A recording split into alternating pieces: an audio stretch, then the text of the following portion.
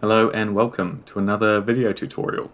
In this video tutorial I want to show you a way that we can get data from the cloud-based um, data warehouse Snowflake using Python.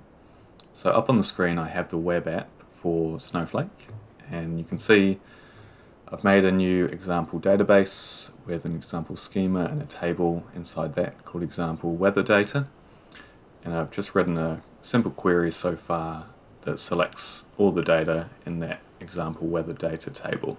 And you can see it here. It's a table that contains um, cities and dates and, and weather information. And we want to be able to get access to that data from Python. So I'm going to be writing my Python code in the Spyder IDE. And the first thing you want to do before writing your code is install the packages. So just in this commented line of code up here, I have the install line that you need to type into your command line um, so you can get started. It's just pip install and the string here. Basically that will install a Snowflake connector and a pandas compatible Snowflake connector. That's the reason for this bit in the brackets here. So we'll be able to get access to Snowflake and retrieve data from Snowflake in a pandas data frame format. So after you've installed your packages, we can start coding. So import snowflake.connector is the first thing that you'll need to write. And the way that the Snowflake connector works in Python is we create a connection between Python and Snowflake. So we um, basically use our login details and our Snowflake account to get access to Snowflake. And then we create a connector object and and um, we pass a SQL query to that connector object and we receive data back as a table. So the very first thing we want to do is set up our login details to submit to the connection. So what I'm going to do is make a variable called ctx and ctx it's going to contain our login information. It's going to be equal to snowflake dot connector dot connect. There we go. And so inside that, we're going to first yes, um, specify our username. Oh, sorry, just user. I'm just going to write in here the username that I would use to log into Snowflake. And it's going to be blurred on my screen. I still want to use my actual username and other login details so you can see a full working example there. And um, when we get to here, I could either write a password or there is another way to log into Snowflake when you've set up your account. You could either have a username password combination or you could have um, external authentication. Basically that works by recognizing the computer that you're on rather than a password that you type in. Um, external auth authentication is quite a handy way to set up your Snowflake login because basically that means um, you don't have to write a password in your code that is shared around with anyone else um, that you give your code to. Um, I guess the downside is that with that external authentication, um, you would have to set someone up with authentication before the code would work for them if you sent it to them. So um, they're both quite good. And I'll explain the type of variables you need to pass in for either one. So I've actually set up my Snowflake account with the username and password. So the next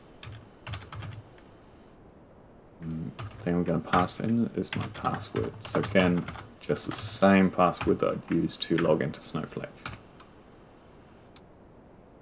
Just on the line below, I'm going to type what you'd use if you had ex an external authentication set up. Basically, you wouldn't need that password line. just type authenticator equals external browser. And that's all you need. So username and um, authentication equals external browser. I'm not going to use that line though. Um, the next couple of things, oh, there is more that you need to pass into here. The next couple of things are to do with our account. So account is the name of the next variable. And your account name can be copied from the URL of the Snowflake web app. So just from the URL up here, I'm just going to copy the bit of the URL that starts after the HTTPS double slash and copy until just before the first dot. So it should just be a combination of six letters and numbers. And the next thing after that is the region that I'm accessing Snowflake from. You can also get that from the URL. So just after I left off with the URL, just after the first dot, oh, I'm not going to blur this bit out, that's alright. I'm going to copy Australia East dot Azure. Ooh, don't need that last dot. So Australia dash East dot Azure We'll go into the region. Um, now the next two things you don't need, but they're going to be quite handy to explain. Um, first one is role. So you'll have a default role when you set up your Snowflake account. So that will be recognized um, if you don't want to specify it, but sometimes with different roles, um, you'll need to specify it. Basically, if I go back to the web app and I click into this tab here, it will open up a bit of information about my login. My role is account admin. Basically, different roles will give you access to different databases. Some might be hidden or exposed for the different roles. So if you want to access a role that is different from your, de uh, your default one, you're going to have to specify it. So I'm just going to copy that there, account admin, and pass in for this example. Um, the other one is warehouse, which also you'll have a default warehouse, um, but if you want to um, use this with one that is not your default, then you'll have to specify it in the code. So right underneath role is my warehouse, compute WH. Basically, the warehouse um, is talking about the actual server computers that are running my Snowflake. Compute WH is um, just an extra small, you can see by here, quite a small and cheap server. So I'm just going to specify that. Compute WH. Cool. So those are all the details we need. The next thing we do is set up a cursor object with those login details. So I'm going to call that cursor object CS, set it equal to ctx, what we just the variable that we just created, dot cursor. So we can check that all runs fine so far. Yep, it does. We have some snowflake objects, no data yet. So the next thing we want to do is uh, create a SQL query to pass into the connection object, the cursor object that we just created. So I'm going to make a new variable called SQL query, and we pass that SQL query in as a string. Now, normally when you um, create a string in Python, you might do it in between um, two double apostrophes or perhaps single apostrophes. That can get quite tricky because um, with a Snowflake SQL query like I've got here, it the different type of apostrophes mean different things. And um, if you start your string with, say, a double apostrophe, as soon as it gets to this point here in the query, that string will end. So I'm just going to copy that. The way I like to um, pass in SQL queries in Python is just start my string with three single apostrophes end it with three single apostrophes. So anything inside that zone, that start and end, is just going to be treated as a string. So if I paste that in, um, you can see the string hasn't been broken by the apostrophes in the, in the SQL query. And we can just check that. I'll run that bit of code and the variable's popped up up here. If I click into it, that looks good. That's, that's how I want it to look. That's the string that's going to be passed into my cursor object. Cool, so the next thing is to pass that SQL query in. So I'm just going to use cs execute SQL query. Oh, suggested it for me there. Can run that. Still not going to look like any usable data, so well, hasn't returned anything else, but the SQL query has been sent, and the last step is where we get the data back as a pandas style table. And the way we do that, I'm just um, going to set our data equal to data, and we do that using cs.fetch pandas all open close bracket. So I can run that and now we have our data. And looking at it, it's worked how we wanted it to. This data is the same data that we were looking at in the Snowflake web app before.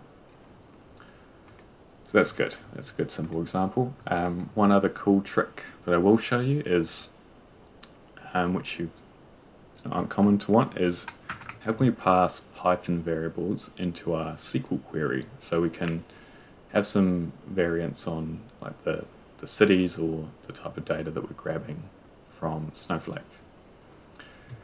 And how we do that is we just want to add more to our SQL query string using Python variables. So let's look at our data. We've got two different cities in our city column here. Let's say we wanted to specify data only from Christchurch. So the way we do that in SQL is we'd write where city equals Christchurch. And notice Snowflake likes double um, apostrophes around column names and single apostrophes around strings in our data.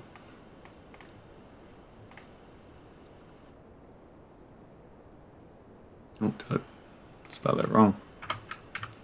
Christchurch. Cool. So if we want to do something like that from Python, but we want to specify the city in our Python code rather than a hard-coded city in our query, uh, we can do that. So I'm just going to copy this first part of the query, paste it in here,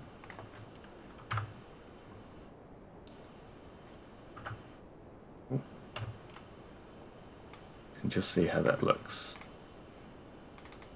So now we've got SQL query where city equals nothing yet. I just set variable city equal to Christchurch up here in the code, that's what I basically want to append to the end of my SQL query. So in Python I can just add two strings together using add like that. So let's take a look, see how that looks. Ooh, name cities. Oh, so highlight that bit as well. That's looking good, but still not exactly the same as this query here. Notice this one has the single apostrophes around Christchurch. So the trick here is to do another add before city and just do a single apostrophe inside a double and on the other side as well, single apostrophe inside a double.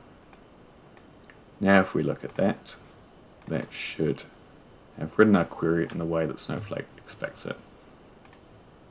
So if we were to run this now, our data contains now only where city equals Christchurch, and now from our Python code, we can change up here city to be Wellington and run it again.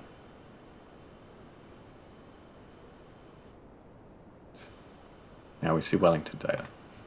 So I hope that's been helpful and um, if you do have any other questions please don't hesitate to add them to the comments below. Thank you.